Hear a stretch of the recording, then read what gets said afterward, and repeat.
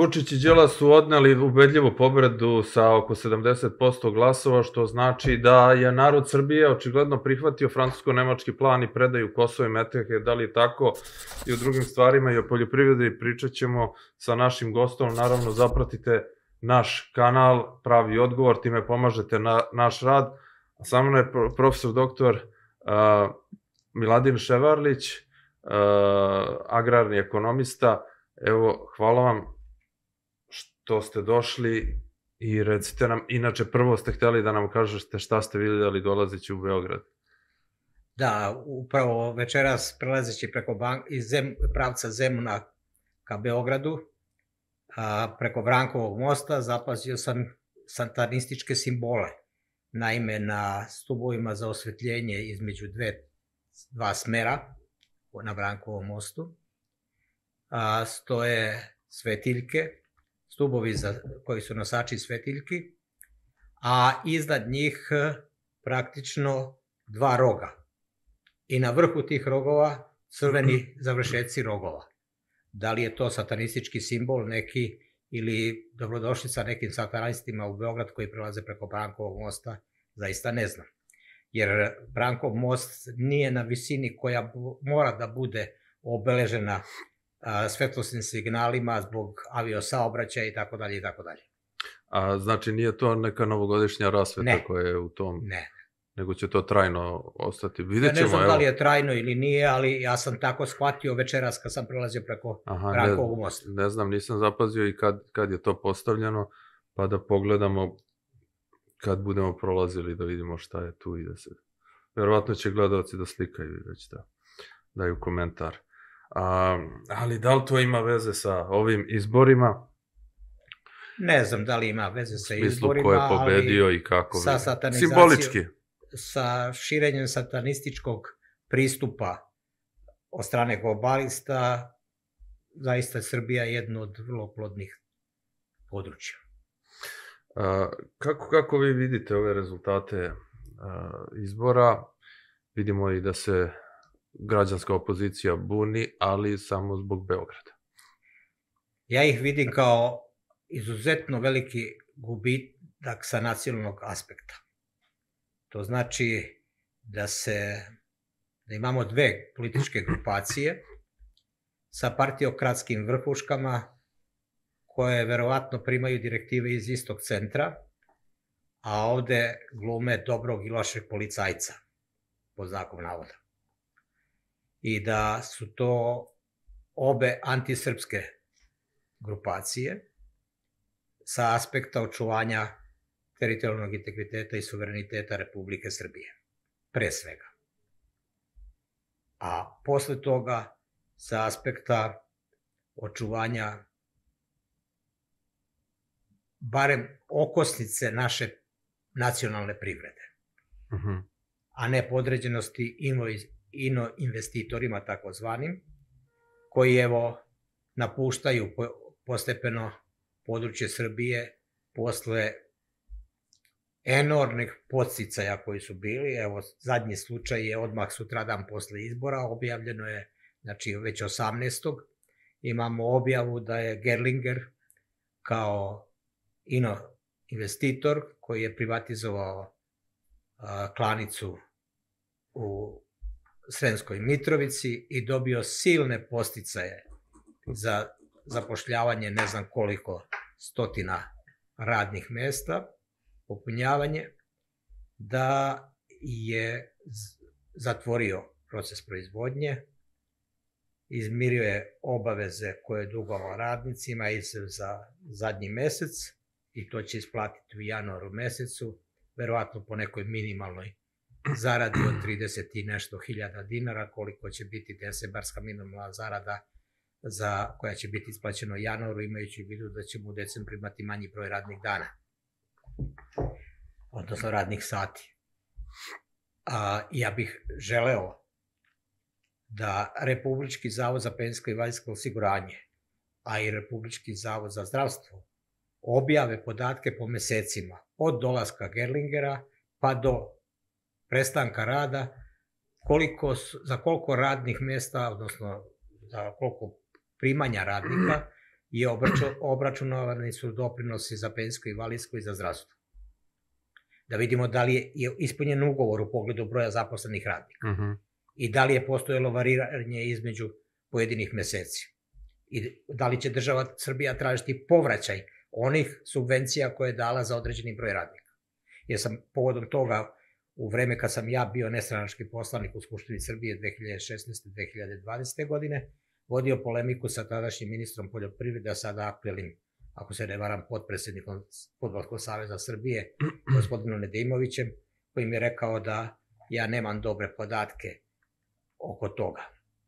Da li ima toliko zaposlenih radnika. Inače, Ali sam dobio bio jednu insajdersku informaciju od jednog mog bivšeg studenta koji je imao pristup informacijama u jednom od republičkih fondova da nije bilo uplata za rad, broj radnih mesta za koje je dobio subvencije. A, A osim nije toga bilo... što- Pa nije Nije, na, nije ovaj, zaposlio toliko radnika. radnika koliko je, za koliko je primio subvencije. Aha. A, jel možete da nam date nešto više podataka o tome čime se bavi ta firma koja, A dakle... to je klanična industrija. Mhm, mhm. A osim toga, praktično, iako je bio u centru takozvanog svinskog srema, to znači gde se inače tradicionalno masovno tove svinje, uglavnom je uvozio sirovine iz Evropske unije za obradu i preradu proizvoda od svinskog mesa, a manje je otkupljivao, pogotovo kad su bile veće oscilacije cena. A, to je sad uh, jedna od tih stvari, znači, jer uh, ljudi, ja mislim, koji, koji se bave uzgojem svinja, da je njima čak i zabranjeno i, i stoke, da je njima čak i zabranjeno da sami kolju, je li tako, nego moraju da, Da, nose i da li to namerno zbog urađeno upravo... ekoloških, ekoloških standarda sa takozvanim animalnim otpadom u kla, prilikom klanja. Znači, mora, klanje mora da se vrši u klanicama, a onda iz klanica možete da donosite na svoje domaćinstvo, odnosno svoje gazdinstvo i da vršite konfekcioniranje mesa, soljenje, Mhm. sušenje, dimljenje i preradu i tako dalje. A, Što što znači... inače pristup i u zemljama Evropske unije, recimo, i mislim da je to dobar pristup, jer bi troškovi a, a, obezbeđenja ekoloških standarda ili uslova za klanje stoke su jako visoki i to ne mogu da snose pojedinačna poljoprivredna gazdinstva. To imamo danas vrlo razvijenu domaću preradu mesa u Sloveniji Mhm. pogotovo na onim kmetijama, odnosno njihovim gazdinstvima koja se bave i seoskim turizmom za potrebe svojih gostiju i tako dalje, ali oni odvoze svoju stoku u klanice, vraćaju čereke, polutke i oni dalje konfekcioniraju i dorađuju, prerađuju i služe i prodaju. E, ma ja znam kad sam bio mali pa sam gledao tamo u, bukvalno u dvorištu su Jeste. k- klali i ne znam, čak I na e, đubrište. nešto, Creva i ostalo sa otpad zakopavali. pa e, uglavnom to se radilo, tu se odmah kuvalo i i Ne, znam, prerada i je dozvoljena, i to sve nije ostalo. problem. Prerada. Ali i se prerađivalo radi i to. o klanju I nikad I- nisam čuo za neki problem da je bio oko toga, ali eto. Pa de, dobro, bili su drugi uslovi i tako dalje, ali i nije problem kad je jedno, dva grla. Problem je kad je više grla. Mhm.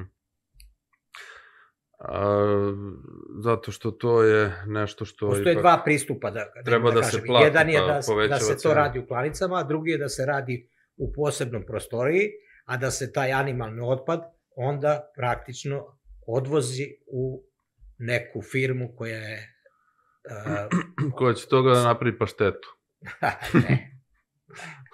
Verujem da je ne. Pa, Mada sam danas... ili, ili ovaj Parizer, Mada sam onaj- danas upravo, onaj Vučićev. mada sam danas kao predsjednik Saveza poljoprivrednih inženjera i tehničara Srbije, a, SPIC, koji je pravni sledbenik društva za poljsku privredu osnovanog u knjažestvu Serbija sa i latiničnim, Mhm. kako se tada po staroslovenskom pisalo, a, društva za poljsku privredu, ove godina kada obeležavamo 155 godina od osnivanja i nažalost zbog majskog prevrata a, 155 godina od registracije naredne godine, a uzima se kad je registrovana, ne kad je osnovano na osnivačkoj skupštini, jer nije registrovano te godine zbog tog problema. Uputio predsednici vlade u tehničkom mandatu i ministarki poljoprivrede zahtev da mi odgovore da li je tačno da se, a, s obzirom na jednu prijavu koja je došla i upućena i njima, da li je tačno da se u koncentrovanu stočnu hranu ubacuje i mleveno mineralno đubrivo da bi se povećao sadržaj određenih elemenata. Elemenata? Recimo azota. Aha. Da li se... Znači u, hr u hranu. Da li se ovaj, uh, urea kao najbogatija azotom 47% melje, one granule, da se pretvore u prah, pa se ubacuju u koncentrovanu stočnu hranu. Da li je to tačno ili ne? Uf, ne znam, ali zvuči strašno. Pa ja sam javno danas tražio da mi odgovore. O, li... Ako ne, evo, ja apelujem da, da Hoće li to neki novi poslanici sad da odgovaraju da i da traže odgovore na ta pitanja? Šta mislite o ovome? Pa ja mislim da je, što je, što je sad? Uh, pored ovog anacionalnog napretka grupa, ove dve grupacije, da je najveći hendikep ovih izbora to što mi u Skupštini nećemo imati ljude koji su specijalizovani, stručnjaci, za poljoprivredu i selo, a to je 84 ili 87 prema nekim proračunima teritorije Republike Srbije. Mm -hmm. I treće, u vreme kad sam ja bio nestranački poslanik, znači 2016. 2020. nisam mogao od službe, od stručne službe Skupštine da dobijem podatak koliko ima opština i gradova, odnosno lokalnih samouprava, bez poslanika. Ali sam nekoliko meseci direktnim ili indirektnim a, prikupljanjem informacija došao do podatka da od 240 poslanika sa teritorije autonome pokrajine Vojvodine i centralne Srbije, 10, 10 poslaničkih mesta je bilo rezervisano za Srbije sa Kosova i Metohije, da 74 opštine i 4 grada nisu imale uopšte poslanika. A teritorija tih 74 opštine i 4 grada je više od polovine teritorije a, centralne Srbije i Vojvodine. Pa se postavlja pitanje o kakvoj to demokratiji govorimo u Srbiji i o kakvom eventualno regionalnom ravnomernom razvoju sa aspekta privređivanja, odnosno te ruralne ekonomije i uopšte ekonomije, možemo da govorimo o ravnomernom zastupljenosti u Skupštini Srbije. Mm -hmm. Dakle, jedan od poslanika koji, s kojim sam se inače družio iz režimske poslaničke grupe, sa kojim sam se profesionalno sarađivao pre ulaska u parlament, odnosno u Skupštinu Srbije, mi je rekao da se ja ne razumem u politiku, da oni strogo vode računa da osvoje Beograd i Novi Sad, eventualno i Niš, i to mi je sasvim dovoljno da ostvare apsolutnu većinu u Skupštini. Aha. Kao što mi je jednom jedan bivši predsednik opštine, koji je u vreme moje kampanje i mojih saradnika u Srb Srbija protiv GMO, ili bez GMO, bolje reći da govorimo afirmativno, a ne negativno.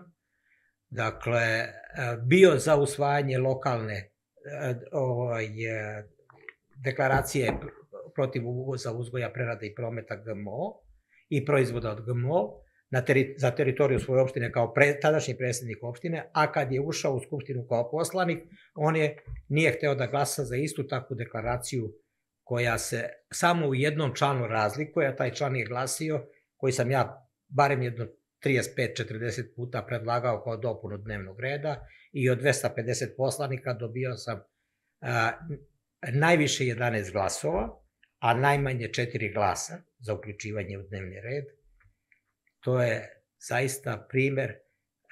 Na drugoj strani imao sam 136 opština u kojima je jednoglasno preko 7000 odbornika usvojilo taj tekst deklaracije.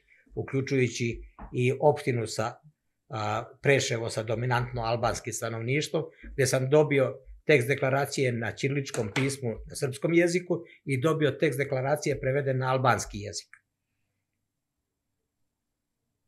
Dakle, mm -hmm. oni su to uvažili. Ili recimo a, opštine gde je dominantno bilo musli, stanovništvo muslimanske vereispovesti, koje po halal standardima ne sme da koristi hranu na bazi genetički modifikovanih organizama. Mm -hmm. Jer to im vera zabranjuje. Da, možda se ubaci nešto sa... Absolutno. Što im je zabranjeno svinjsko ili tako. A kad dođu da budu poslanici, onda su dalje od naroda i samo slušaju partiokratske lidere. Mm -hmm. Oni više nisu narodni poslanici, nego su partiokratski poslanici. A, vi, vi ste učestvovali u ovome i upoznati ste dobro kako je a, lista Aleksandar Vučić na još ona kad su sami vladali srušila tu ideju o tome da se proglasi genocid u NDH. A, što je Smilja Ona je tišla. to uradila u sadejstvu da. sa SPS-om.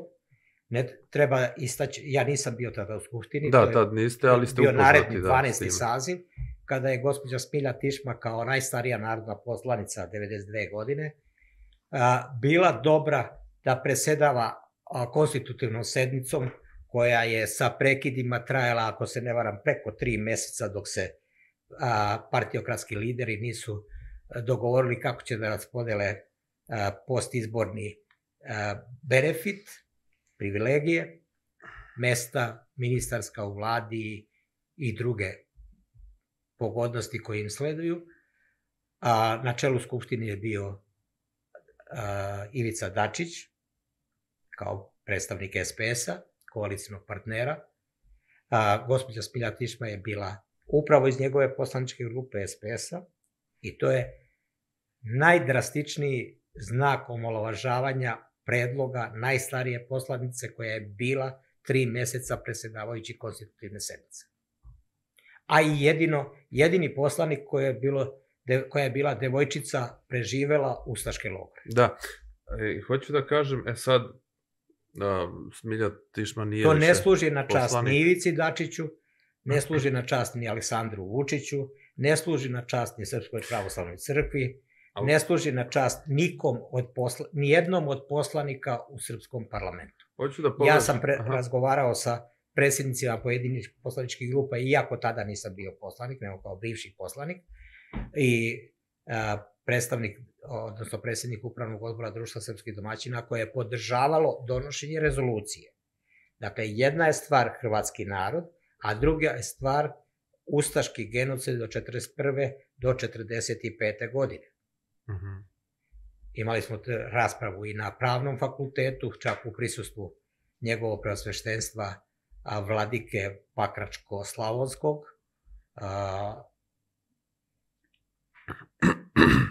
koji mi je osporavao neke stvari. Evo danas sam bio u banci, recimo, da kažem da iako nemam nikog od svoje rodbine na teritoriji Hrvatske, ja sam već ne sjećam se koje godine to bilo i koliko godina onazad to radim, pročitao na elektronskom izdanju sutrašnjih naslovnih strana novosti. Informaciju da će spomen obeležje familije Bosanac na, koje, na čijem postamentu je ispisano osam imena, od čega je sedam imena članova porodice koji su u Ustaškoj raciji uhapšeni i odvedeni u logor Jasenovcu 42. godine i iste godine svi su pogubljeni tamo, ubijeni, da će se vršiti ekskumacija zbog toga što nema, nije plaćena grobarina. Ja sam u toku te noći našao na internetu ovaj, informacije da je za a, to seosko područje nadležna nadležno komunalno preduzeće komunalac Pakrac, poslao mail, sutradan u 10 sati sam dobio odgovor da mogu da, da, a, da su saglasni da prihvate da ja plaćam grobarinu za no. to grobno mesto. I evo i danas plaćam. Imao sam problema ovih godina izuzetno mnogo zbog toga što sam morao u njihovoj nacionalnoj valuti, a sada to mogu da radim i u evrima ili dolarima, međutim danas su me iz banke vratili jer su mi poslali iz komunalnog preduzeća Pakrac uh, upustva, ali nije bančino upustvo, nego je njihovo sa parametrima za devizno plaćanje, pa ću noćas morati da šaljem novi telegram da obezbede i svoje banke tu A, ali, ali hteo sam da povežem ovo zaista da. ovaj, sa ovim što se sad dešava, znači to što je odbijano tada, e, što je Smilja Tišma predložila da, da se rezolucija o genocidu usvoji, što je lista Aleksandra, Aleksandra Vučića, tako se i zove, lista Aleksandar Vučić e, odbila, što ni u ovom sazivu poslednjam nije se Nažalost i dveri su obećavale da će ponovo to da predlože, ali nisu to uradile, ne znam zašto. A, ali sada ovaj, sada... O, to je mogla da uradi vlada Ane Brnabić, da. jer bez e poslanika mogla je čak da zahteva posebnu tačku dnevnog reda i da zahteva vanrednu sednicu na kojoj neće biti rasprave da li će to postati tačka dnevnog reda ili neće, nego će morati da bude tačka dnevnog reda i da se samo posle rasprave izjasne. Ali... Međutim, kod, uh, moram da vam kažem, uh -huh. uh, vrlo često uh, poslanička, režimska, režimski poslanici po nalogu svojih predsednika poslaničkih grupa ili šefova partija, svejedno, a, primenjuju proces mimikrije. Dakle, ne deklarišu se kao protiv, protivnici neke tačke dnevnog reda, nego se izjašnjavaju uzdržano. Uh -huh. Ja mislim da u parlamentu kao i u Ustavnom sudu i na nekim drugim mestima, ne bi smeli da, se, da niko bude uzdržan. Jer ako postoje propisi, morate da ga se izjasnite da li ste za poštovanje tih propisa ili niste poštovani. Ali ovo hoću da kažem. I ogromna znači... režimska većina je bila uzdržana i zbog toga nije usvojena. Znam, da. Tako radi sa zakonom. Ne, zapravo, zapravo je, e, kad su se odvažili, počeli da glasuju Vladimir Orlić, koji je kao potpredsednik predsjednao, prekinuo, Brže bolje je prekinuo. Prekinuo je to glasanje.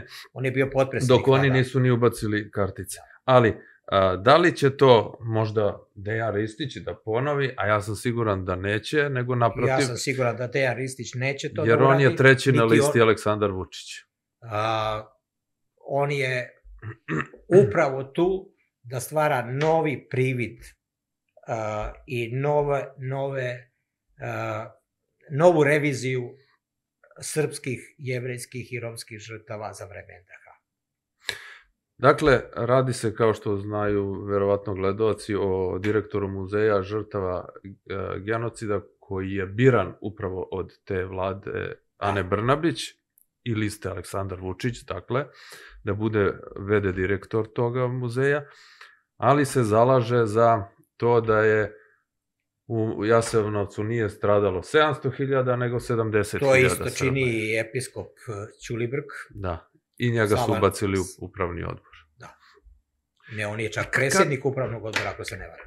Ja sam da, imao sa njim da, da, jednu da, raspravu da, da. upravo oko plaćanja ovih grobnih mesta, kada mi je oponirao da to nije tačno, da je to moja donacija, da su oni to regulisali.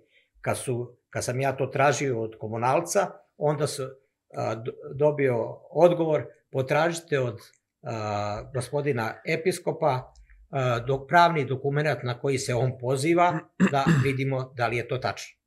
I kad sam a, poslao na episkopiju, javio se sveštenik Tešanović sa fiksnog telefona, rekao je da episkop nije tu, a da u njegovo ime govori da se to ipak nije odnosilo na a, plaćanje održavanja grobnih mesta. Ne, nije šija nego vrat, ali da ne širimo sada raspravu, bit će, nadam se, još prilika da sa episkopom na nekom javnom skupu, ali i sa a, VD direktorom, kažete, muzeja žrtava, sučelimo stavove po da. tom pitanju i da jednost, a posebno da istaknem da je omalovažavajući odnos episkopa bio na skupu na pravnom fakultetu, kada je omalovažio profesora Gideona Krajfa, da. koji je napisao tri monografije na tu temu. Jedna je Jasenovac Auschwitz na Balkanu, koja je sa ovog aspekta ovog vašeg pitanja najznačajnija. Dakle, gde je omalovažio celokupan naučni doprinos. Da ništa drugo nije doprinao, dovoljno je samo da što je Gideon Graf e, prvi u svetu specificirao 56 načina u, umorstava u logoru Jasenovac. Za razliku, recimo, od Auschwitza gde je bilo četiri načina umorstava logoraša. Da. I da je Jasenovac šest puta veći teritorijalno od logora Auschwitz. Al, ali meni... Uh, Pardon, Ošvjenci. Meni treba objašnjenje kako su 47% zvanično, po zvaničnim podacima, rekao 47% građana Srbije, uključujući tu verovatno i par desetina hiljada iz Republike Srpske koji su dovedeni. Kako su oni mogli da glasaju ne samo za Anu Brnabić, nego za Dejana Ristića koji poništava zločine Ustaša? Kako su mogli da glasaju za toga kao trećeg visoko pozicioniranog, što znači da ga stavlja u rang uh, među uži izbor za premijera? Da. Evo, to, kako kako mogu, kako ih nije sramota, kako ih ne stide se obraza da tako glasaju? Pa šta da vam kažem, recimo Skupština Srbije na moj predlog, kao tada nestranačkog poslanika 2018. godine, Maja Gojković je presedavala, koja je jedna od tri najvećih krivaca za stanje, za ugrožavanje teritorijalnog integriteta i suvereniteta Srpskog Kosova i Metohije, zbog toga što je ona raspustila sve srpske lokalne samouprave na teritoriji Kosova i Metohije, a nije istovremeno raspisala nove lokalne izbore i na taj način praktično ukinula ingerencije Republike Srbije, institucije Republike Srbije, elementarne institucije na teritoriji Kosova i Metohije. Kako je ovo moguće, to treba svi građani da se zapitaju. Dakle, mi dugujemo, naša generacija, nešto što ne treba da ostavljamo amanet našim pokolenjima, a to je da raščistimo pitanje genocida nad Srbima. I u Prvom svetskom ratu, i u Drugom svetskom ratu, i u NATO agresiji. A i posle NATO agresije, imajući u vidu oluju iz Hrvatske i imajući u vidu pogrom Srba sa Kosova i Metohije u vreme kad su međunarodne snage preuzele ingerencije na teritoriji Kosova i Metohije. Evo šta je izjavio Bilčik kao evropski parlamentarac, da su izbori generalno bili u redu i da sada treba u stvari Srbija da se mane ovih prevremenih izbora i da ispuni jedan duži mandat kako bi ispunila uslove za pristupanje Evropskoj uniji. Dakle, da li je to bila poruka ostavite Vučića na miru, da odradi još četiri godine, koliko ima inače od do kraja malo manje i do, da. i do predsjedničkoga i toliko ima znači do ovoga uh, parlamentarnih izbora redovnih. Ostavite na miru, on treba da preda Kosovo i Metohiju. Tako on treba da, da finalizira da. predaju ili prodaju. Da. Možda i prodaju u pitanju, ne znam. Pa, Ovaj, u svakom Bog. slučaju, izdaja. Nije izdaja. Ja se ne slažem da je Aleksandar Vučić izdajnik.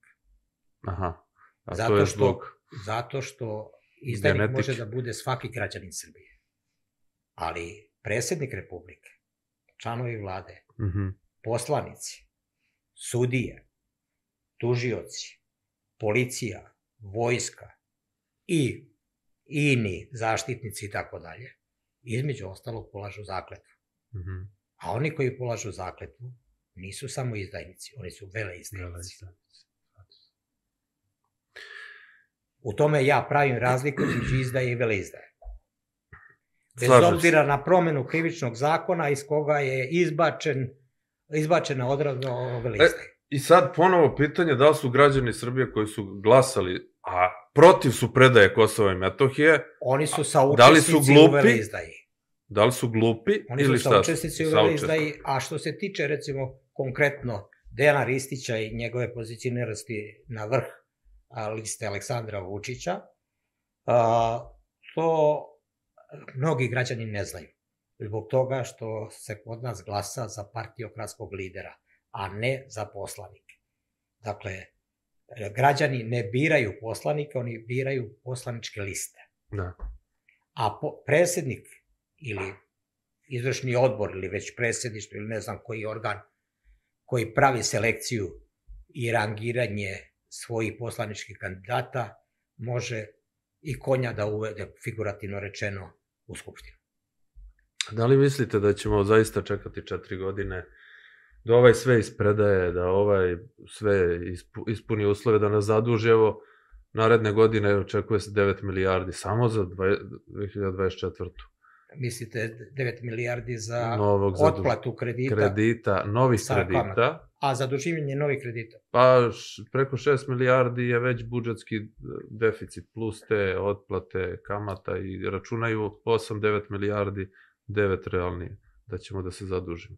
Pa 4-5 milijardi se pokriva doznakama iz inostranstva od naših radnika. Te doznake će, nažalost, biti sve manje, jer i druga generacija se iseljava ili druga generacija se ne vraća njihovih potomaka Vajtera po znaku navoda, tako da će svoj, s obzirom da pogotovo ruralni deo da Srbije da je opustošen i tako dalje, nemaju kome da šalju više, nemaju interesa i tako dalje. E, ova prva generacija gastarbajtera je ulagala u, u pravljenje novih kuća, pomoćnih objekata, nabavku mehanizacije i tako dalje, što je bio mrtav kapital u odnosu na njegovu funkciju, imajući u vidu da je njihovo potomstvo krenulo za njima. I novi broj, posebno mladih i visoko kvalifikovanih se iseljava iz Srbije, tako da je drugo, veća je stopa smrtnosti nego rađanja, to su svi elementi plus ovaj uh, migracioni egzodus, dakle, i evo sada da, danas sam gledao neke podatke da Republička izborna komisija i pokrajinska izborna komisija nemaju isti broj birača upisan u birački spisak za pokrajinske izbore na teritoriji Vojvodine, dakle potpuno se razlikuju cifre. Kako je to moguće u jednoj državi, u jednom sistemu, da imamo različit broj upisanih u birački spisak za teritoriju Vojvodine, kod Republičke komisije i kod pokrajinske komisije. Ne znam kako je za pokret. To znači da mhm. se to znači da se glasovi ne, glasača ne vrednuju isto i limit za ulazak nije isti za pokrajinskog posla, poslanika u, pokrajins, u Skupštini Vojvodine, odnosno za poslanika u Skupštini Srbije. Ne znam sad, tu može biti možda razlozi boravišta i prebivališta, neko ima boravište, neko nema, a nema prebivalište na toj teritoriji na kojoj glasa i tako dalje, ali ima nekih čudnih stvari oko toga. Ne, ja govorim o teritoriji Vojvodine. Da. Znači, ako se radi o pokrajinskim poslanicima i nacionalnim poslanicima, ovi koji glasaju na teritoriji pokrajine, njihov broj u biračkom mora da bude identičan broju a, bira, glas, birača na teritoriji pokrajine i u republičkom. Trebalo bi. Dobro, Barem ja uglavnom, uglavnom, recimo, eto, Nemačka ima taj neki disonantni ton u odnosu na Evropsku uniju i kaže da je, i njihovi mediji javljaju da je bilo krađe na izborima, da to izgleda... Ja mislim da je to samo a, ucenjivačka platforma. Mhm. Uh -huh podizanju cenjivačke platforme na jedan viši nivo. Da što pre preda Kosovo i Metohiju. I kako će da se osjećaju ti građani kad vide, ili će oni reći, koji su glasali za Vučića i kad on stvarno završi posao i završit će Pa ja ga, mislim da je veliki broj građana reći, pa koji je pa glasao pa za ovu ja. zapadnu opoziciju, na čelu sa Đilasom, uh mhm. -huh. a, praktično zlupo, koji su bili protiv nasilja i tako dalje, demonstrirali, šetali po Beogradu mesecima i tako dalje, da je on zloupotrebljen od strane tih poslanika, sadašnjih poslanika. I da su dobili glasove, uh, očekujući da oni neće biti veleizdajnici. Ja bih voleo da to bude, ali nisam siguran. I mislim da gubitak, neulazak dveri i za, zavetnika je katastrofalan pokazatelj. i mislim da su i zveri i zavetnici katastrofalno pogrešili što nisu prihvatili sporazum sa novim DSS-om i POKS-om. A to osujeti, ovaj, osujeti političara, to je, može čitava emisija da se napravi. Nije se radilo o sujeti. Apsolutno. Nije se radilo o sujeti zbog toga što bi... I ako, njihovom da su svi, samoljublju. Sve tri grupacije političke ušle za, išle zajedno na izbore, dobili bi zajedno mnogo više poslanika, jer bi imali otprilike 9% glasova i bili bi druga grupa, treća grupacija u Skupštini Srbije, a onda bi se lako podelili poslanički mandati za poslaničke grupe jedne, druge ili treće opcije. Jer i ovi koji su bili zajedno, nastupali dveri i zavetnici, sigurno su imali dogovor da posle ulaska u Skupštinu podele se na dve poslaničke grupe da bi predsednici poslaničkih grupa ili zamenici predsednika poslaničkih grupa dobili 20 minuta dodatnog vremena po sednici, odnosno po tački dnevnog reda ili tačkama dnevnog reda koje se razmatraju u paketu.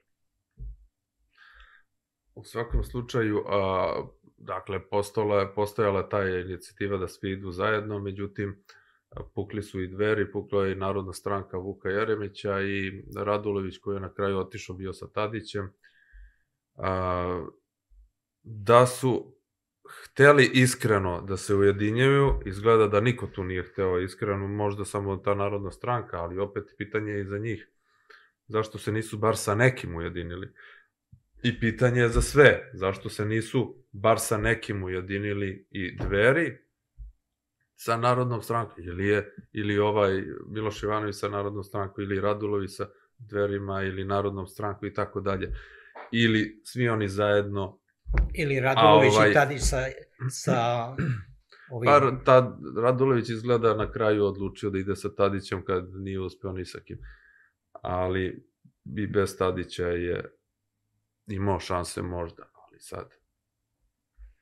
Zaista nisam politički ali... analitičar, ne bavim se time, osim ovim naci, sa nacionalnog pa, aspekta. To, da li, da li govori o njihovoj neiskrenosti da su hteli da se ujedinjaju? i njihovoj i njihovoj lošoj proceni šta mogu sami da urade ili ili u maloj nekoj grupi ujedinjeni dve stranke ili tako nešto. Teško mogu da se uključim u to, ima ljudi koji su bolji poznavaci tih prilika, pa morate njih mm -hmm. pozvati u goste da razluče šta je šta. Mogu, mogu da zamislim šta bi bilo da, da se ova, recimo, građanska opozicija a, da je imala pet opcija, a ne da su, oni imaju desetak, ne znam koliko imaju stranaka i pokreta tamo u, u svoje 7-8 već, ali da su se podelili na pet, kao što je recimo ova. Koliko bi ne, njih posle, ostalo ispod cenzusa, koliko bi prešlo? sigurno i oni podeliti različite poslaničke klubove. Pa verovatno bi kod njih prešlo samo dvo, dvoje, Jer je za poslanički klub cenzus. dovoljno pet poslanika. Ali eto, bili su, ispali su pametniji. A, I tako, došli smo do situacije, dakle, da se za vlast bore oni koji su otvoreno za neprijatelja i oni koji su to, koji su i do sada na vlasti, a koji su polu prikriveno ili polu otvoreno za neprijatelja. A to je naravno ova vladajuća stranka i koalicija. Da, imajući u vidu sve pod znako navoda sporazume, iako u nekim situacijama je jezički neprimerno govoriti o sporazumu. Recimo, šta znači uh, Vašingtonski sporazum? Ako je Kurti sam potpisao jedan papir, drugi papir sam potpisao Aleksandar Vučić, a predsjednik SAD-a nije potpisao ni jedan papir, nego je podelio samo po jednu hemijsku olovku. Trump. Kakvi su to sporazumi? Ja ne znam u međunarodnom pravu. Ja sam slušao privredno pravo kod a, profesora Đurovića na pravnom fakultetu, a nisam slušao ustavno pravo, nisam slušao međunarodno pravo, ali ne verujem da postoji sporazum sam sa sobom. To se zove testament. Mm -hmm. Dakle, Vučić je praktično po meni u Vašingtonu potpisao testament o Srbiji. kao da je on vlasnik Republike Srbije. Upravo A, tako. On takođe- je potpisao obavezu neku. Takođe, e, ne znam šta znači a, francusko ne, ili nemačko-francuski ili francusko-nemački sporazum o Kosovu i Metohiji. Šta oni mogu da odlučuju o Kosovu i Metohiji? Nije Kosovo i Metohija ni u sastavu Francuske, nije Kosovo i Metohija Korzika. Jer to znači da sad Srbija treba da se izjasni o autonomiji Korzike. Da li ja treba recimo na nekom međunarodnom skupu na kome učestvujem, da u buduće kad u prisustvu Francuza da ponesem zastavu Korzike i da promovišem autonomiju i secesiju Korzike. I da to bude dopušteno kao što oni to rade. Aha. I šta kako, to znači kako bi ako... re- reagovala ta država? Kad... Posebno je zabrinjavajuće da je Francuska, Francuska. učestvuje u tome kao tradicionalno prijateljski nastrojena zemlja Srbije. Od prvog svetskog rata do drugog svetskog rata. Sad se priključila neofašističkim strukturama. Da. E, nešto sam hteo da vas pitam, a to je, jeste zapazili da se u izbornoj ti- tišini da su uhapšena navodno tri, ne znam, ona što su kao nađena da su pretili bombama, nešto sa inicijalima se pojavilo, da su koliko već od kad ono traje rat u Ukrajini, već više od godinu i po dana, e, se dešavaju te pretnje bombama. I tačno tek sada, nakon tog godinu i po dana, u izbornoj tišini se dešava da budu neki uhapšeni kao uz pomoć Češke i šta ja znam.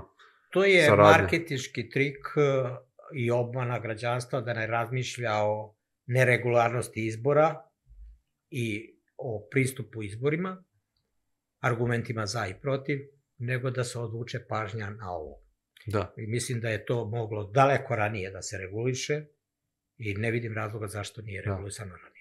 Jer ranije što je bilo, eventualno je bilo neki copycat, neka deca u školi koja da izbegnu kontrolni, ali ovo je bilo sad, ovi što su masovno slali zapravo. Da, da, u zadnjih desetak dana pred izbore i tako dalje. Da, pa i ranije, ko zna koliko. Uglavnom, dešava se baš... Tragično, to je ogrom, ogromno opterećenje za policiju, koja treba da o- izvrši proveru svih objekata i tako dalje, gde se to, na koje se to odnosilo. A videli ste li, listu onih poznatih ličnosti koje su podržale listu Aleksandar Vučić? Da, preko 2000. Ko vas je tu Priče- iznenadio? najviše? Mhm. Mnogi su me iznenadili, ali to je njihovo pravo, ali posebno je iznenadilo da je S- e, SNS se hvalio sa tom listom, a da su pojedina, li, pojedine ličnosti čija su imena navedena na toj listi demantovali da su ikada ikome dali saglasnost da budu na toj listi. Da. I da nema nikakvog izvinjenja ni od koga za tako nešto. Očigledno je da su neki stavljani, a da nisu potpisali. I da je to kombinacija uh, onih koji APP, su, ako prođe, Da. prođe. kombinacija onih koji su potpisali uh, na, za onih, što su kaže, skupili 92.000 potpisa. Znači, među njima ima nekih tih javnih ličnosti, sportista, glumaca, akademika, profesora. I kombinacija i neki su pridodati, koji su možda usmeno negde rekli da bi podržali ili nešto tako. A neki možda i nisu. Zaista ne znam, ali bi e, recimo zaštitnici građana, Mhm. ako im se obrate takva lica, morali da sprovedu postupak utvrđenja činjenica i izricanja kazni. Jer tamo kaže SNS. potpis. Ako oni ne pokažu potpis tog lica, to je zloupotreba. A ako pokažu potpis, a on je falsifikovan, onda je to krivično delo. Da. I jedno i drugo je krivično delo. Te molim vas, ne možete vi potpisujete u ime drugog. Da. A, dakle, a, i, i bilo, je, bilo je već dokaza da su pojedinci a, reklamirali da nisu dali gla, izjavu o podršci nekoj političkoj opciji u predizbornom postupku i nikakvih sankcija niko nije snosio. Da. Ne, Profesor taj, taj Dragan overivač, Milić, ne taj znam da li još ko. overivač te izjave bilo da je on ovaj, overivač u opštinama, bilo da je javni beležnik, morao bi da izgubi licencu i radno mesto. I da njegova firma bude zapečaćena, ako se radi o javnom beležniku. To je vrlo lako utvrdivo. A, mi smo imali po 3000 potpisa koje je overila opština Vranje, a opština Vranje kaže da to, da to nije overila, što znači da je neko zlopotrebio pečat i ispečetirao 3000. Kaže da u knjigama to nema, jer mora da ima i na papiru i u knjigama. Apsolutno. I ovaj, imali smo to u slučaju Radeta Basta, imali smo u slučaju Pavla Bihajlija, ruska stranka, isto Vranje. Tužilac, nema ga nigde. Pa mi imamo atrofiju institucija, najblaže rečeno u Srbiji. Umesto njih partiokratski lideri diriguju, najavljuju i tako dalje. Uzmite samo oslobađajuću presudu za Miškovića i njegovog sina koja košta budžet Srbije 30 miliona evra. Da li će Aleksandar Vučić kao inicijator i a, sudija koji je izrekao osudu i, i tako dalje, odgovarati bilo šta materijalno za taj ubitak iz državnog budžeta od 30 miliona evra. Upitajmo se samo koliko bi škola moglo da bude renovirano za tih 30 miliona evra. Koliko socijalne pomoći više isplaćeno i tako dalje, koliko podrške poljoprivrednicima koji su opljačkani za preko milijardu i 200 samo u vreme ovog režima, koliko penzionerima sa minornim primanjima ispod ikakvog ljudskog dostojanstva, ispod robijaške naknade koja postoji u svim zemljama članicama Evropske unije, bi mogli da dobiju od tih 30 miliona evra. A, da vas pitam dalje, ovaj, videli ste u Nemačkoj su protesti poljoprivrednika, da. pošto je Šolc odlučio da smanji subvencije za agro, agrodizel, oni tamo čak zovu a, refakciju, odnosno nadoknadu, da.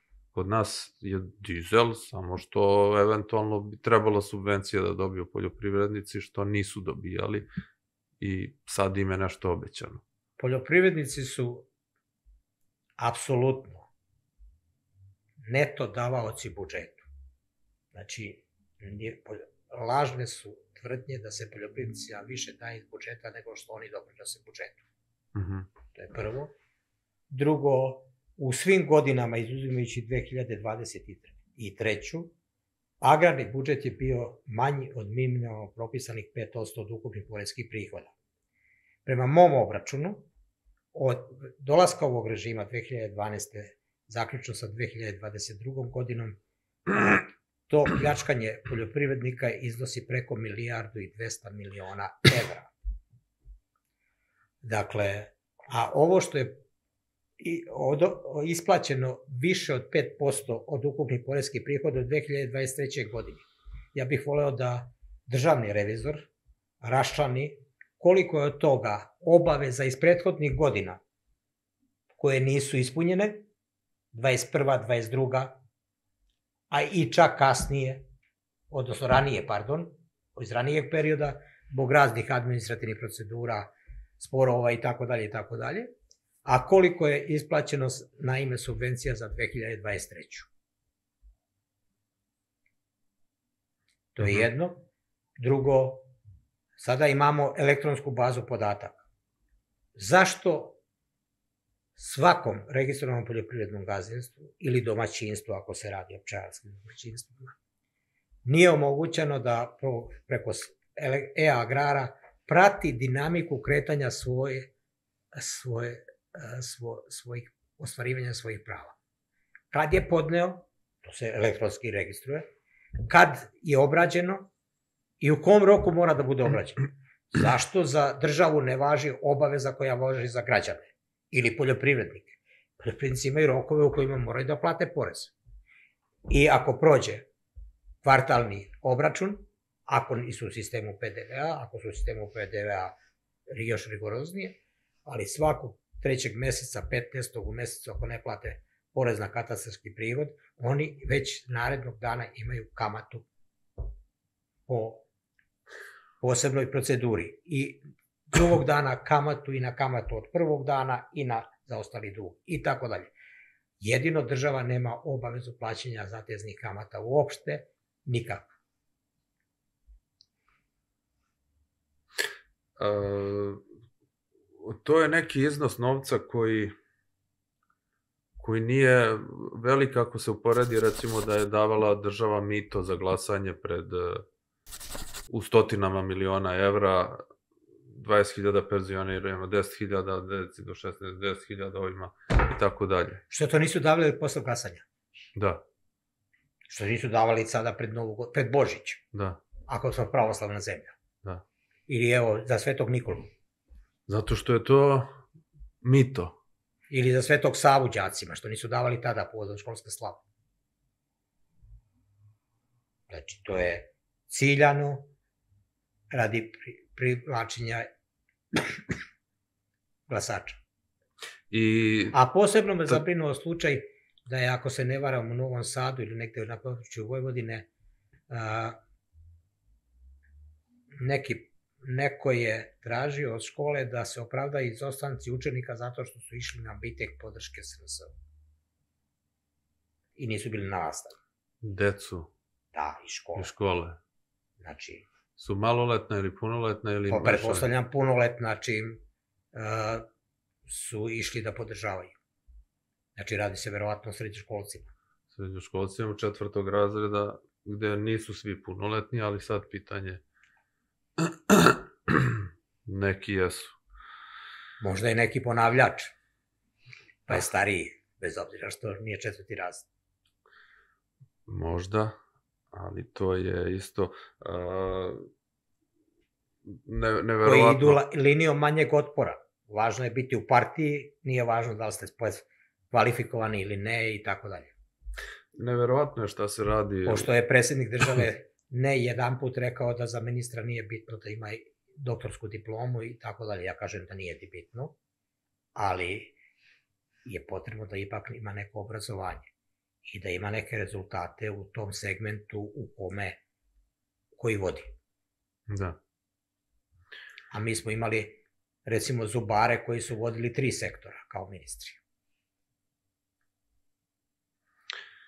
Da, a, nešto bi da se vratimo vezano za proteste ove poljoprivrednika, dakle naši poljoprivrednici kad su protestovali, to je bilo priča, oni blokiraju puteve, to je strašno. Međutim, u Evropi se isto blokiraju puteve i trgovi i svašta i holandjani su blokirali. A evo šta rade u Francuskoj. U Francuskoj su uzeli kombajn, pa ono, onaj top za izbacivanje slame, oni izbacuju balegu i đubro, đubro od, od, Rasturače. Po, po zgradama, upravnim zgradama vlasti. I creva sa osokom. Sa? Sa osokom iz, e, iz Osok je- cisterne. To je onaj tečni stajnjak. Aha, tečni stajnjak. Da. Eto. Znači, Uništavali fasade i tako dalje i tako dalje. da, da, da. Eto, pa... Uh, a Jedino poljoprivrednicima nije dozvoljeno da protestuju u Beogradu. Svi drugi mogu da protestuju jer poljoprivrednici ne mogu, mogu taksisti da blokiraju Beograd, Aha, tako, može kogod hoće drugi, a samo poljoprivrednici ne smiju da dođu sa poljoprivrednom mehanizacijom u Beograd. Ne vidim razloga zašto. da. Jesu oni građani devete rupe nasvirali ili ne? Izgleda je, da jesu. E, sad, da li će im ispuniti obećanje? Nešto je obećano da se da se ipak uvedu neke subvencije za koje su bile potpuno ukinute, je tako, za dizel. Da, bile su ukinute. A, zatim imamo period, recimo kod Miloševića, kada je bilo 50 litara dizela po jednom hektaru obradivog zemljišta, grac, takozvani zeleni bonovi. Ovaj, sada imamo nešto što je vrlo zabrinjavajuće po meni, kao agrarnom ekonomisti, a to je vraćanje na agrarnu politiku subvencija po hektaru iz vremena G17. A to je povećanje subvencija do 100 hektara. Subvencije po hektaru. Kad uzmete podatke o posjedovnoj strukturi, 99% tih gazdinstva nalazi se na teritoriji Vojvodine upravo zbog toga što se tu nalazi najveći deo zemljišnih površina koje su u takozvanom državnom vlasništvu mm -hmm. i koje podležu obavezi davanja u zakup. Vrlo je mali broj poljoprivrednika koji su kupoprodajnim poslovima po kupoprodaji stekli velike površine. Jer poljoprivreda nije visoko akumulativna delatnost, izuzev proizvodnje semenskog i sadnog materijala. Mm -hmm. Drugo, ako su mogli da kupe 2000 hektara, poslije se pitanje kako ni jedne godine nisu bili obveznici za plaćanje poreza na ukupan prihod građana na kraju godine. Jer ja sam kao profesor univerziteta bio pojedinim godinama obveznik plaćanja poreza na ukupan prihod građana. Kad sam radio projekte i tako dalje. I imao dodatne izvore prihoda pored profesorske plate.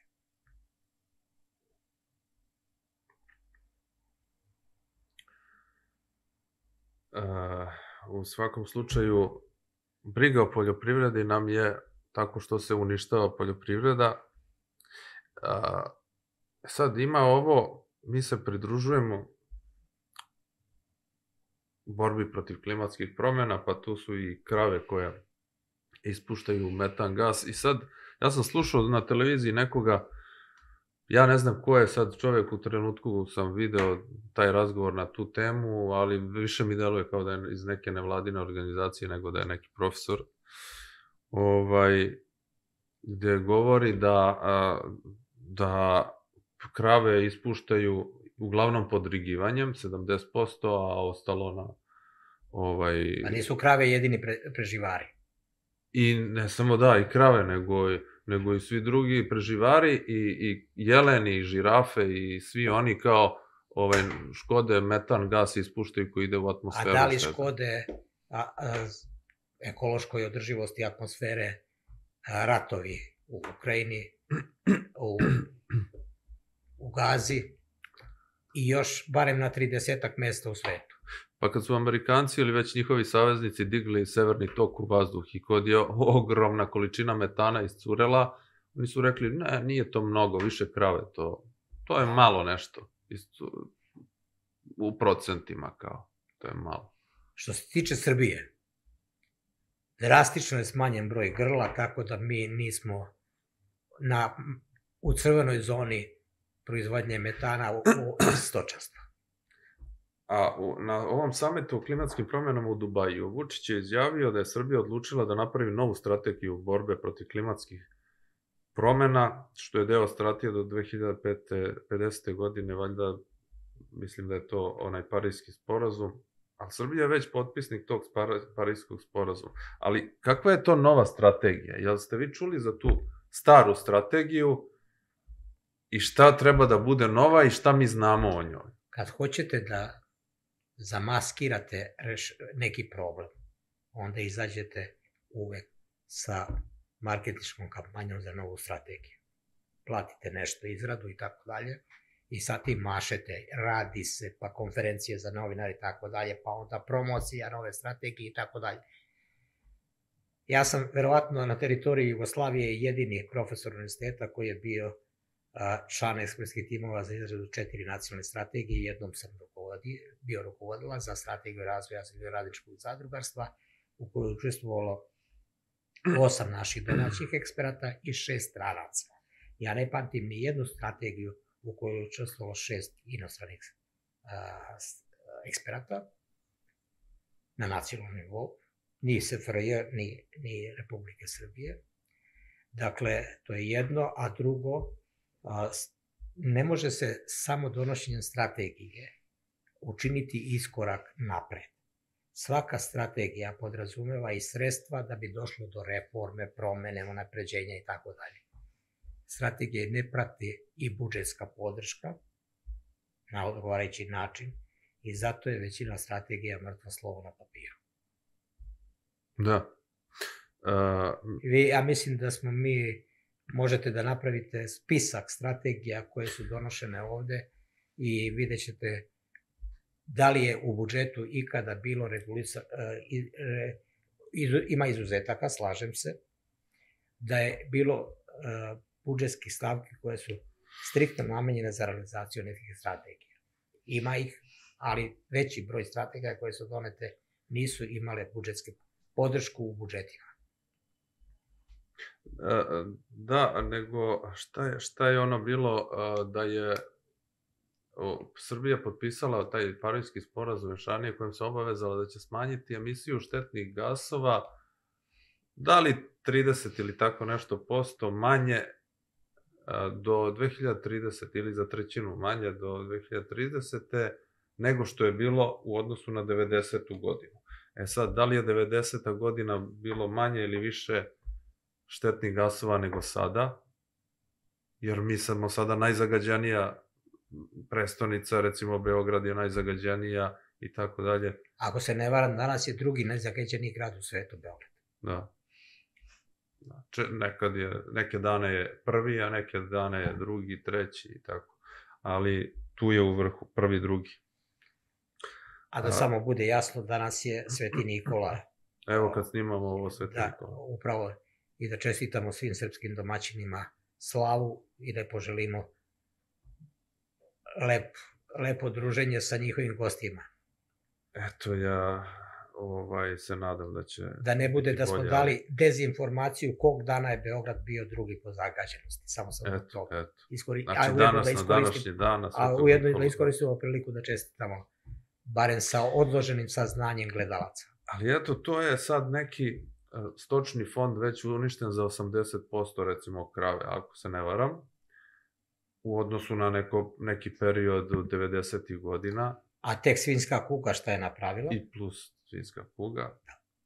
I to bez, a to je bez ikakve agende da treba da se uništi zbog, ne znam, metala. Ja sam razgovarao sa lovcima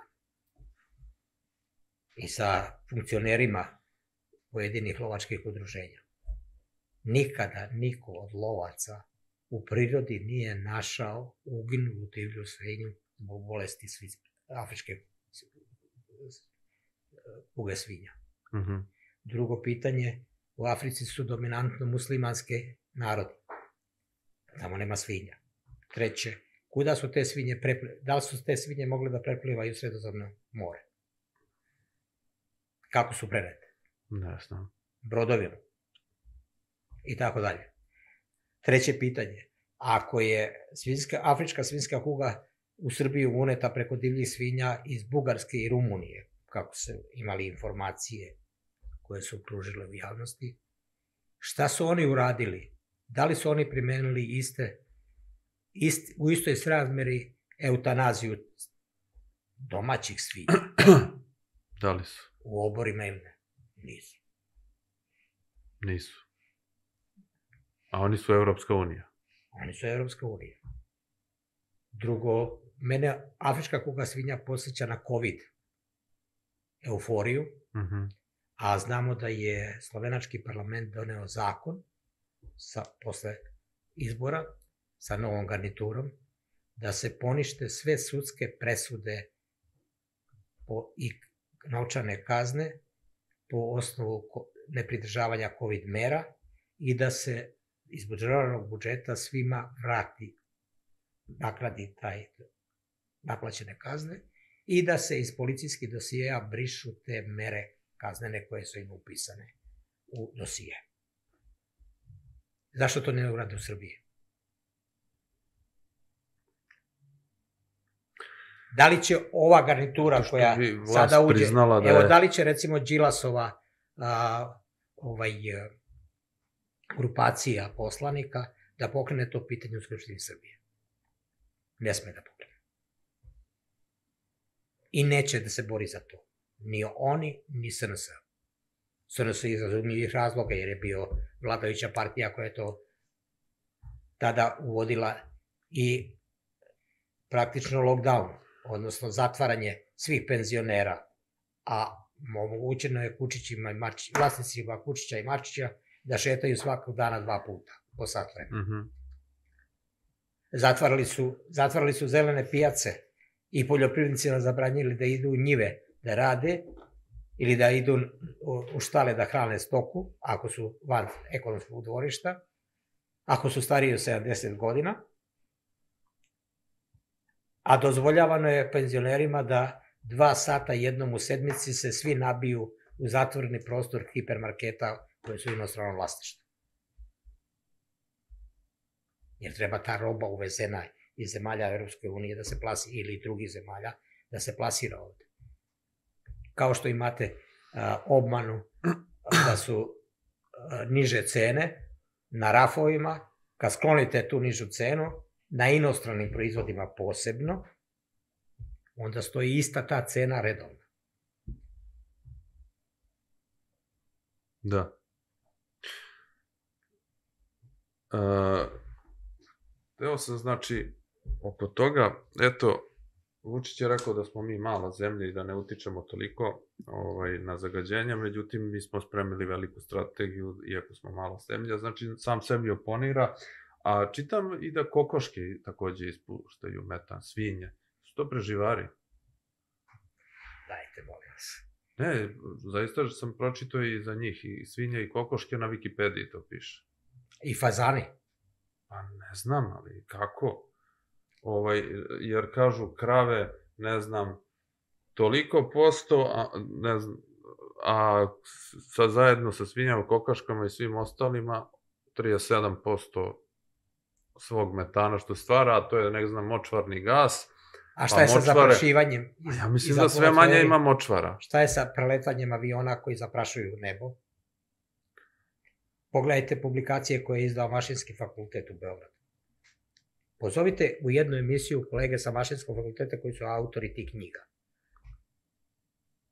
Mm -hmm. Da ja ne, ne prepričavam njihove stavove. Evo teme za jednu od emisija. A knjize, su... I pozovite predstavnika, predstavnika Ministarstva za zaštitu životne sredine da sučelimo stavove.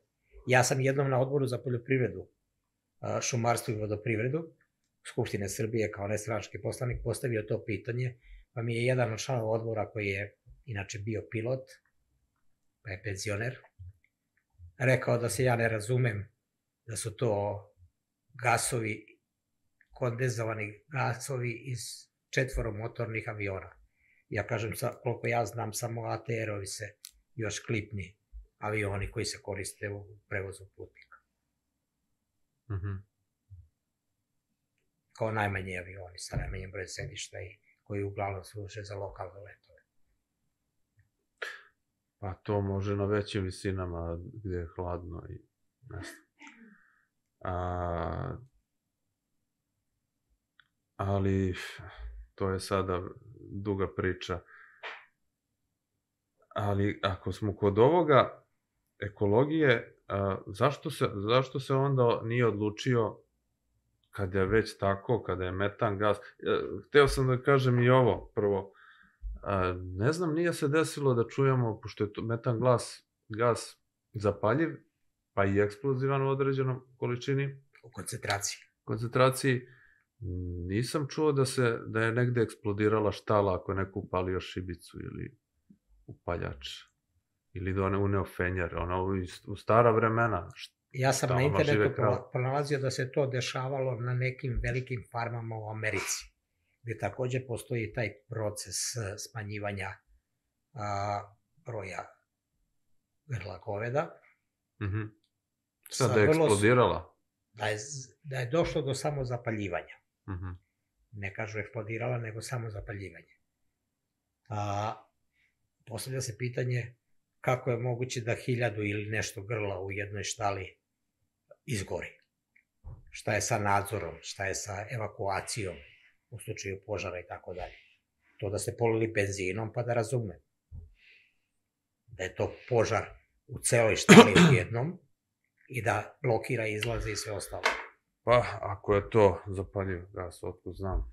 Aj. Ako je to ovaj, neka varnica zbog neispravnih instalacija, ne znam, možda je jeste, ali opet mi je to čudno, zato što se, moč, to je močvarni gas i kažu ima ga u rudnicima isto uglja i Da. tako dalje, ali... a, Ne samo uglja, nego i drugi. ali e, sve manje ima močvara, jer se močvare isušuju da bi... Znači, nekada je bilo močvara i močvara, a sada ih ima sve manje.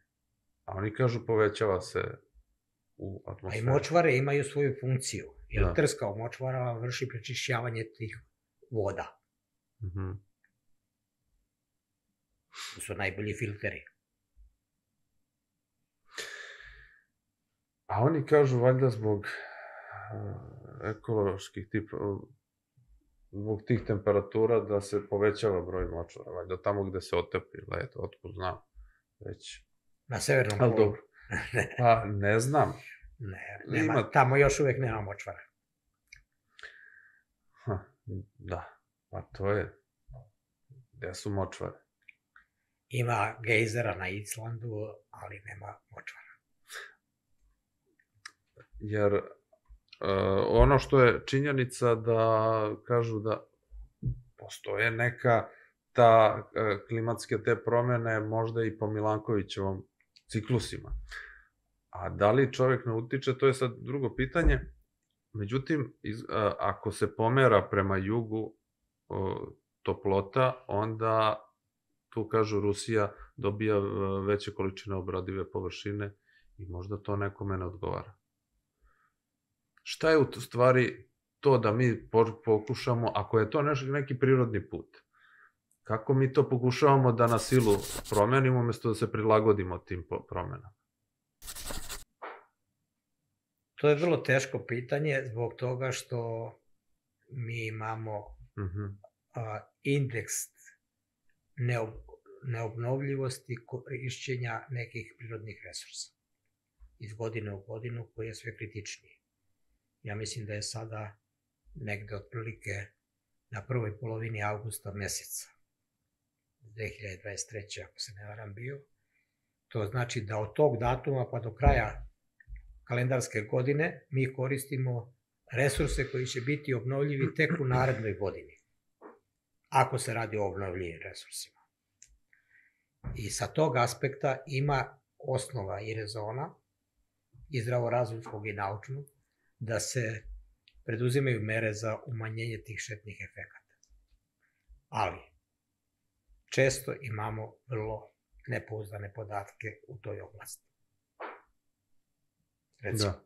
ako mi hoćemo da zaštitimo životnu sredinu, objasnite mi kako je moguće da u nacionalnim parkovima, gde je zabranjena seča i izvoz i slomljenog drveća, u slučaju oluja ili starosti i tako dalje, ona koja su pala, da se iseku i da se izvezu iz nacionalnog parka, nego da se ostavi da prirodno satrunu i ta, Mhm. satrule i, ta, i da se vrši taj bi, bi, biološki ciklus, Mhm.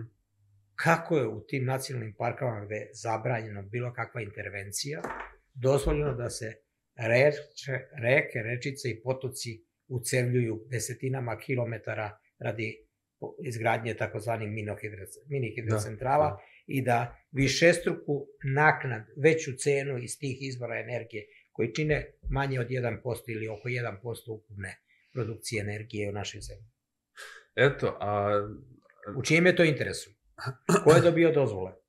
po interesu onih kojima mi plaćamo uh, preko računa za struju neku Razno cifru, razne dodatke. neke dodatke koje oni dobijaju, radila im ta, ta mini hidroelektrana ili vetropark ili ne radio. Znači, za instalisanu snagu oni dobijaju pare, a ne za prodat kilovat. Svaki vid energi, e, prikupljenja energije iz alternativnih izvora ima svoje štetne efekte. Recimo, vetroparkovi imaju štetan uticaj na kretanje ptica, dezorientaciju i tako dalje. Mhm. A to znači automatski u tim zonama i povećanje štetočina, jer nema ptica da ih uništavaju. E, Solarna energija menja e, krajolik, predele, pogotovo ako se radi o velikim površinama, takozvanim solarnim farmama. da. Dalje smanjuje se obradiva površina koja je pod njima.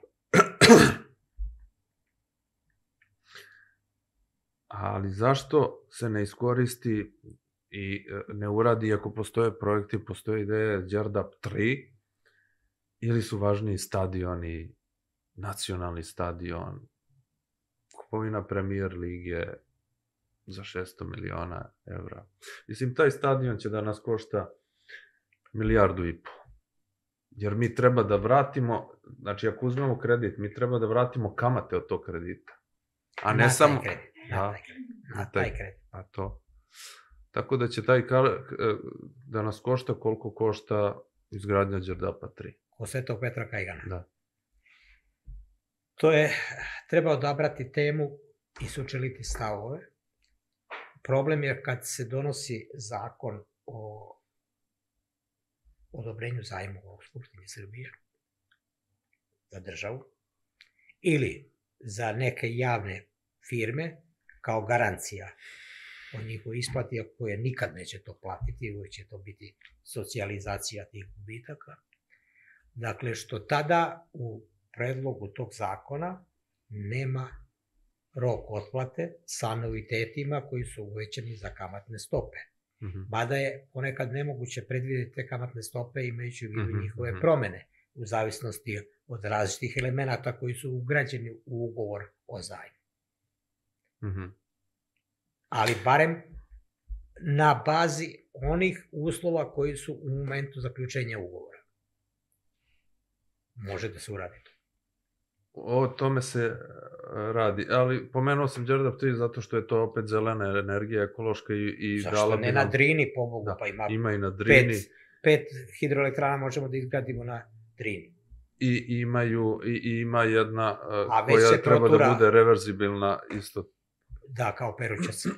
Dakle, e, a već se protura ideja da nam treba nuklearna elektrana, Mhm. da bismo kupili tehnologiju koja je sada američka, a ne ruska i tako dalje i tako dalje. O tome se radi. A, dakle, sva ta briga za ekologiju zapravo lažna.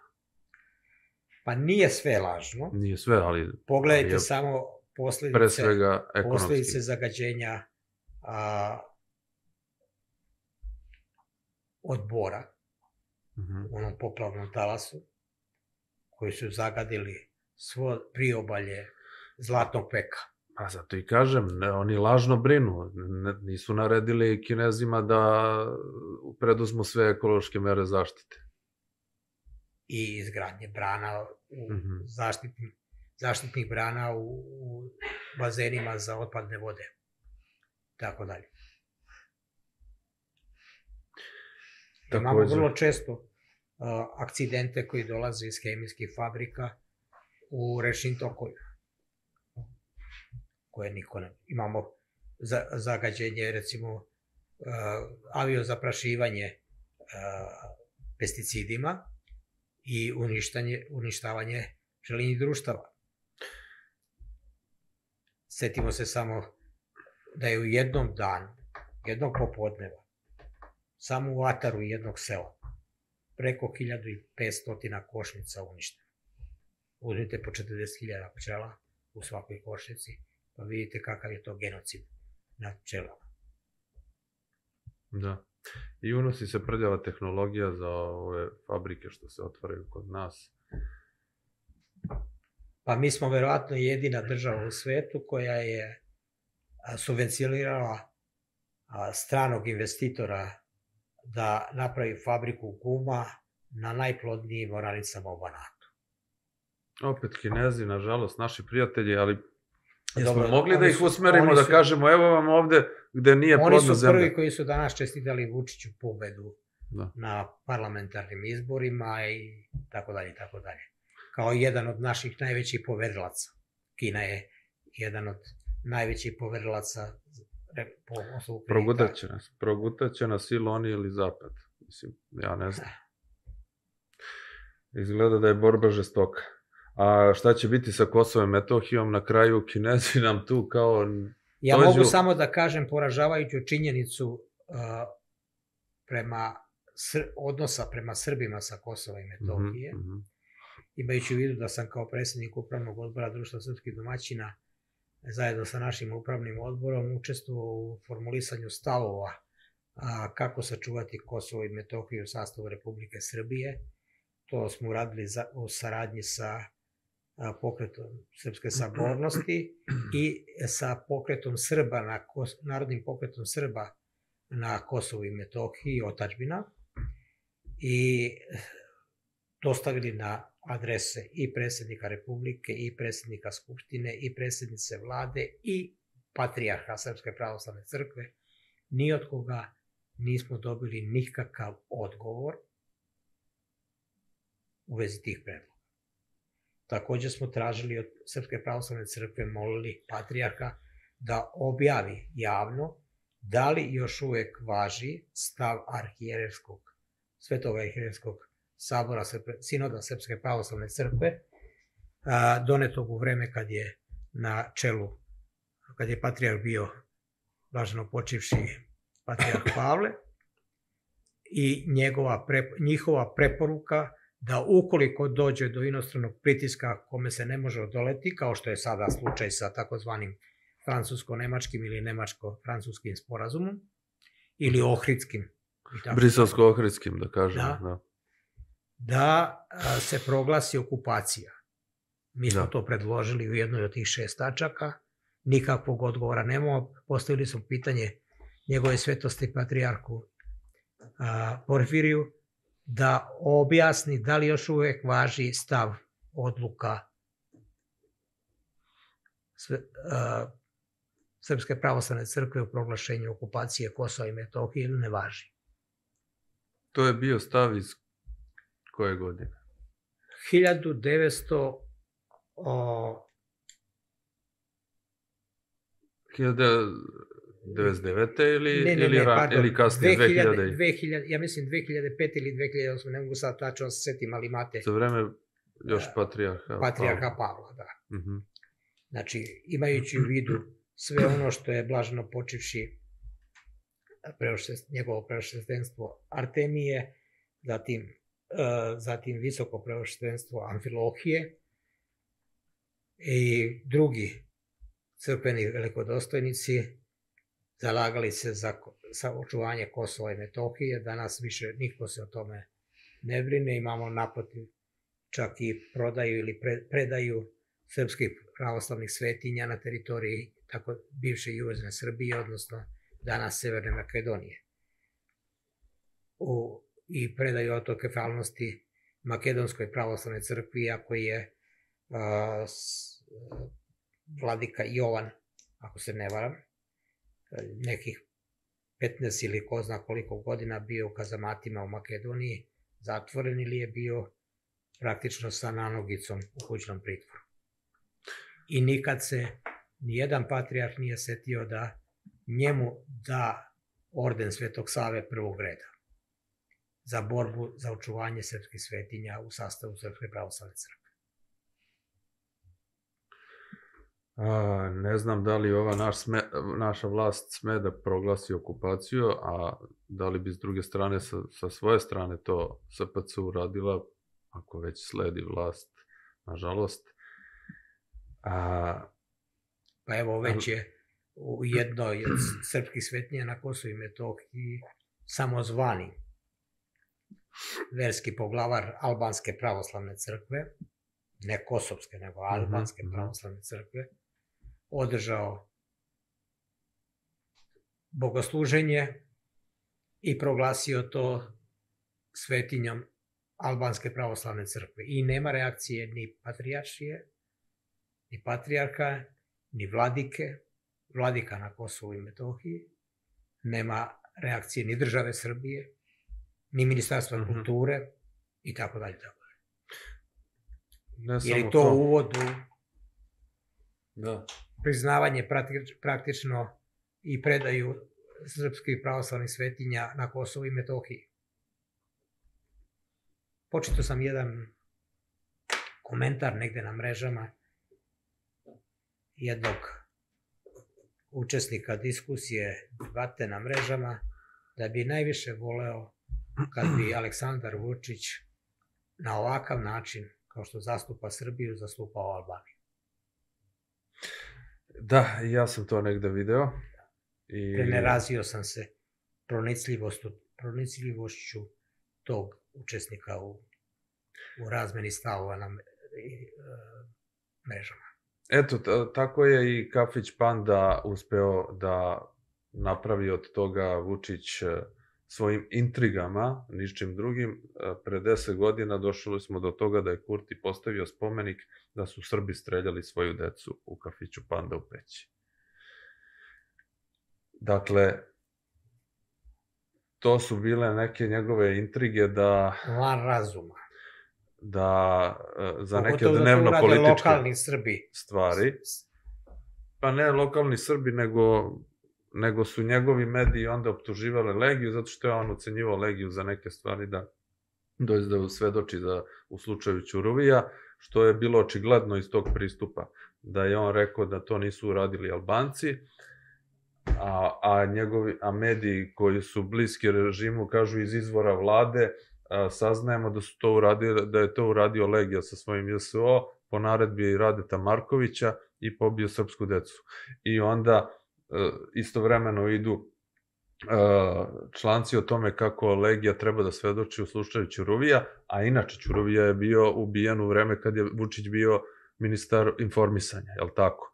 I očigledno da ga je Zapad pritisnuo da se to suđenje završi, a njemu je trebao jak svedok pritisli su Legiju na takav način, a, a Legija, ajde, jeste da je u zatvoru, ali zamislite da da bude da, da se objavi, na primer, da je uradio nešto što nije, u problemu bi bila i njegova porodica, a naravno i njegov obraz, što ga, on je, ajde, za nešto u zatvor, ali da ovako nešto uradi, to bi tek bilo strašno. Ali Nisam možda upoznat sa tim pristupom bila. tom slučaju. Pa ja kažem, ja pričam ovaj već sve vreme, jer sam to zapazio tog trenutka kad se to dešavalo. Znači, video sam jedne stvari, druge stvari i povezao to. Šta je sa, i... ubijenim, sa ubijenim žeteocima na Kosovo i Metohiji? Je neko postavio to pitanje? Šta je sa preoranim grobljima? Pa ne znam. Simo Spasić je, je uz, Vučića. Je li to demokratska Evropa? Je su to Sada. demokratske zemlje članice NATO pakta čiji predstavnici ovde? Mi smo u tih šest tačaka između ostalog predložili da se a, pregovarački proces između Beograda i Prištine, kako se to a, naziva, premesti iz, o, iz Evrope, iz Brisela u Ujedinjene nacije, da ispada po rezoluciji 1244. Drugo, da se zahteva Saveta bezbednosti da se sve oružane snage koje garantuju mir, stabilnost i tako dalje, na teritoriji Kosova i Metohije, koje su iz sastava zemalja članica NATO pakta, koje su učestvovale u agresiji na Savezu da, Republike da. Slavije, izmeste sa Kosova i Metohije, a da se preuzmu, da u sastav međunarodnih snaga pripadnici oružanih snaga zemalja koje nisu učestvovali u agresiji na Jugoslaviju i nisu priznale nezavisno Kosovo i Metohiju. Jer ne mogu države čiji su političari predali a, ima, vršili agresiju na Savjez Republiku Jugoslaviju i priznali separatističko Kosovo, da budu dobronamerni i da.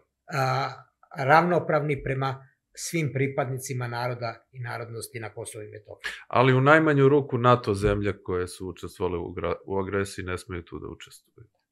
U najmanju ruku, da.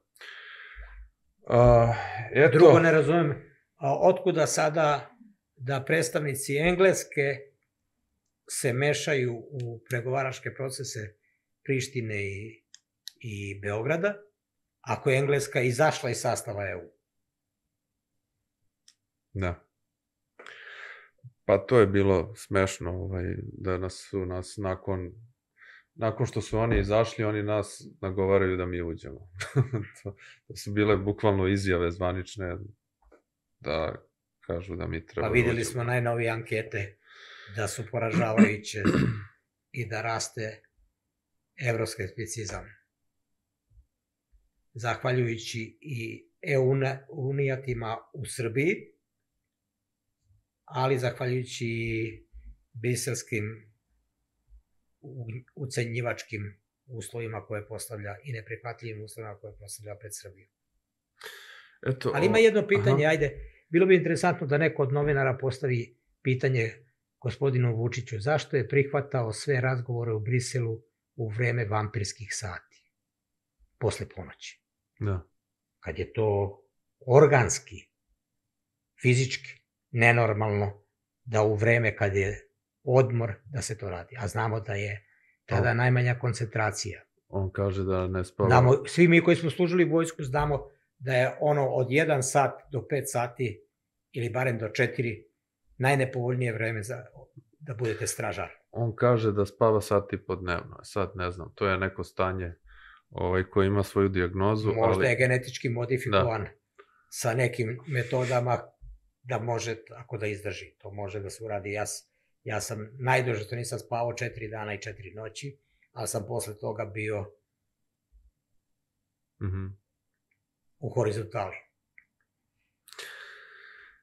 A, ne znam, ali on je puno hvalisav, voli da priča takve stvari, tako da verovatno da malo spava, ali sad pitanje je koliko. A možda i odspava popodne u svom kabinetu, ali mi to ne znamo jer on to...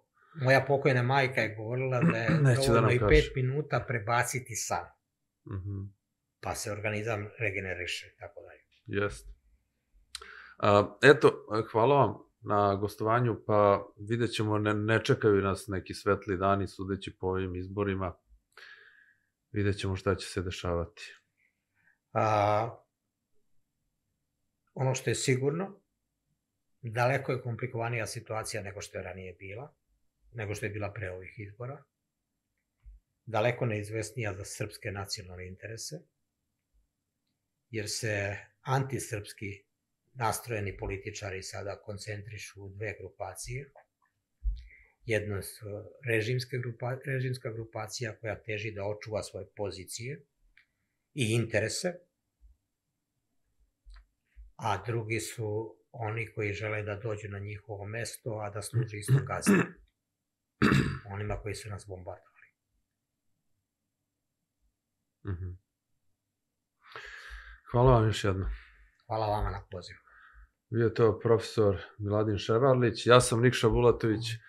Gledali ste emisiju Luča na kanalu Pravi odgovor, zapratite nas, time pomažete naravno naš rad, delite nas, preporučite, sve su to načini na koje možete pomoći, naravno ko želi i može da se učlani na naš kanal klikom na join ili učlani se i time ovaj, postane i dobrotvor kanala.